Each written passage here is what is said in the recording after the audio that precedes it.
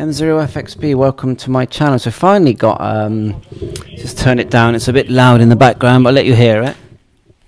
Um, my dual hat working, Pi-Star.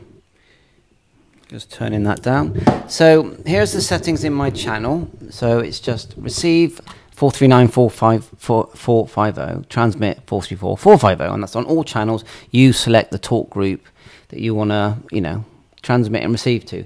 So here I had to add Brandmeister Manager API key for it to start working because it just wouldn't work without it. It just stayed silent. So what you do is you go to API keys here. I've, I've already copied one here, but what you do is go to mobile, go to your call, your Brandmeister page, click profile settings, and then here it says API key. Okay, so what you do, click API key, like so, and you can add one. Click add. When you click add, uh, give it a name. So let's just say dual Hat 2, Hat 2, okay? And you go okay. And it gives you this, click copy, yeah? And then go back to your hotspot. This is, I'll show you the configuration. And go to admin, yeah, here. It's quite important because without this it wouldn't work. Go to admin. And then, well, I've already added it um, then you get an option to add an API key. Okay, so it's a shame that I can't show you how to do that. Let's have a look here. See, it says BM API here. So we went configuration, expert, BM API, and look here, you can copy and paste your key, and then you apply it. And once you've done that, you've got your API key. So there, you can see now we've got um, a couple of TXs is coming in now. They're on separate time slots. So the good thing is that we can actually, it will send out two talk groups at the same time. You have to have two DMR radios mm, to listen to two at the same time. But if only one's on at a time, then it will queue. And but you can, you know, they're on separate slots. That's the reason it works because half the ch channel is being used.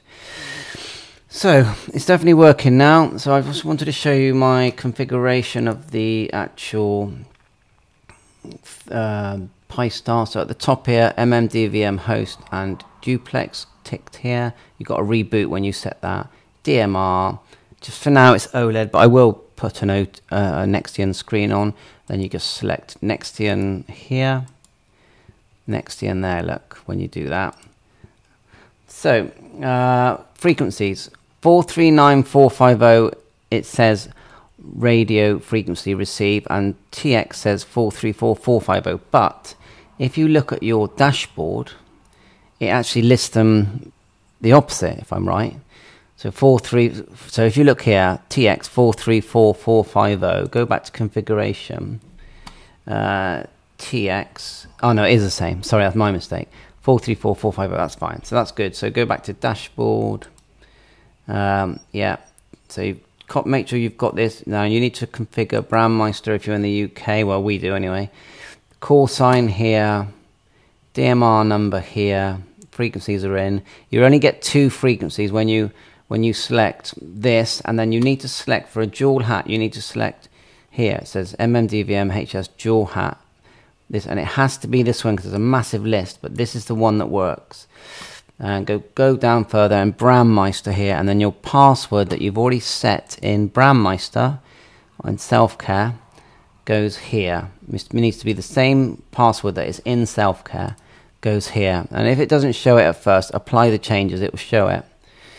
So hopefully that's all the settings. DMR mode, OLED, frequencies, DMR number here above your frequency, hat selected. Apply all that, reboot, and then back onto dashboard and that's it really and it should start working. And like I said it looks nicer with a color screen so I'll, I'll do that later. But for now hopefully this helps and um, hope you find this video interesting for your dual hat DMR radio. 73 all the best. Please like and subscribe